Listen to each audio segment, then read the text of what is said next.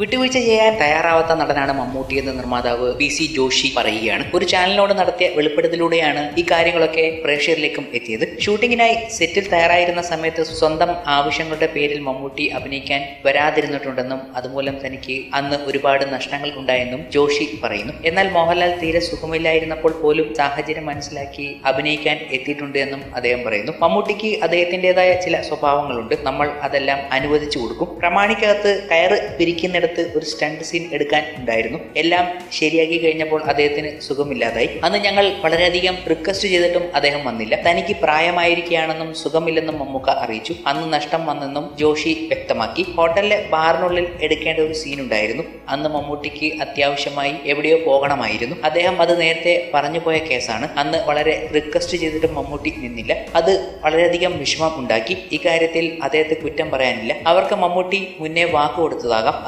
അതുകൊണ്ടാകാം പോയത്. പക്ഷേ നമ്മുടെ സാഹചര്യം കൂടി അദ്ദേഹം മനസ്സിലാക്കണമായിരുന്നു എന്നും ജോഷി പറയുന്നുണ്ട്. എന്നാൽ അവിടെ വ്യത്യസ്തനാകുന്നത് മോഹൻലാലാണ്. മോഹൻലാൽ നമുക്ക് ഏത് രീതിയിലും കൈകാര്യം ചെയ്യാം. ഞങ്ങളുടെ സിനിമയിൽ നെല്ലൂത്തുന്ന ഗോഡൌണിൽ ഒരു സ്റ്റണ്ട് സീൻ ഉണ്ടായിരുന്നു അവിടെ ഭയങ്കര പൊടിയായിരുന്നു. ഫാൻ ഒക്കെ ഓൺ ആക്കിയതും പൊടി പറക്കാൻ തുടങ്ങി. പുള്ളി ആണെങ്കിൽ ആസ്മയുള്ളയാളാണ്. ഞങ്ങളെല്ലാം സെറ്റ് ചെയ്ത ശേഷം പ്രൊഡക്ഷൻ കൺട്രോളർ വിളിച്ചു പറഞ്ഞു ലാൽ സാർ വരില്ല അദ്ദേഹത്തിന് ശ്വാസം മുട്ടാണ് എന്ന്. പക്ഷേ ഷൂട്ടിങ്ങിന് എല്ലാം തയ്യാറായിട്ട് മാറ്റിവെച്ചാൽ വലിയ നഷ്ടമാകും. അതുകൊണ്ട് ഞാനും പ്രൊഡക്ഷൻ കൺട്രോളറും ചെന്ന് സാറിനെ കണ്ടു. ചെന്നപ്പോൾ അദ്ദേഹം ഡോക്ടറിനെ വിളിച്ച് കുറച്ച് മരുന്നുകൾ എഴുതി തന്നു. ഇത് വാങ്ങി ഞാൻ ലൊക്കേഷനിലേക്ക് എത്താം എന്ന് പറഞ്ഞു. അരമണിക്കൂറിനകം അദ്ദേഹം ലൊക്കേഷനിലെത്തി. അപ്പോഴേക്കും ഞങ്ങൾ മരുന്നുമായി വന്നു. ആ മരുന്ന് കഴിച്ച ശേഷം ഷൂട്ടിംഗ് പൂർത്തിയാക്കിയാണ് ലാൽ സാർ പോയത്. അതൊരു വലിയ അനുഭവമാണ്. എന്റെ ഇതുവരെയുള്ള അനുഭവങ്ങളിൽ പ്രൊഡ്യൂസറുമായി അടുത്തറിഞ്ഞ് പെരുമാറുന്ന താരമാണ് അദ്ദേഹം. ഇങ്ങനെ രണ്ട് വ്യത്യസ്ത കാര്യങ്ങൾ രണ്ട് നടന്മാരെ കുറിച്ചും ബി സി ജോഷി പറയുന്ന കാര്യങ്ങൾ ഇങ്ങനെ. പിന്നീട് ഞാൻ മമ്മൂക്കയെ കണ്ടിട്ടുണ്ട്. ഈ അടുത്ത് ദി പ്രീസ്റ്റ് പൂജയ്ക്ക് കണ്ടിരുന്നു. പത്ത് വർഷത്തിന് ശേഷമായിരുന്നു കണ്ടത്. എന്നിട്ടും അദ്ദേഹത്തിന് എന്നെ മനസ്സിലായി. ആ ജോഷി എന്തൊക്കെയുണ്ടെന്നൊക്കെ ചോദിച്ചു. മമ്മൂക്ക വിളക്ക് കത്തിച്ച ശേഷം എന്നെ കൊണ്ട് വിളക്ക് ഒക്കെ കത്തിച്ചു. അതൊക്കെ സന്തോഷമുള്ള കാര്യമാണ്. പക്ഷേ അന്നത്തെ സംഭവം എനിക്ക് വലിയ വിഷമമായിരുന്നു. ഒന്നാമത് ഞാൻ പുതിയ നിർമ്മാതാവായിരുന്നു. ഞെരുങ്ങി നിൽക്കുകയായിരുന്നു. അവർ ഇതൊക്കെ ഇനിയെങ്കിലും മനസ്സിലാക്കിയാൽ നല്ലത്. പി. സി. ജോഷിയുടെ വാക്കുകൾ ഇങ്ങനെയായിരുന്നു.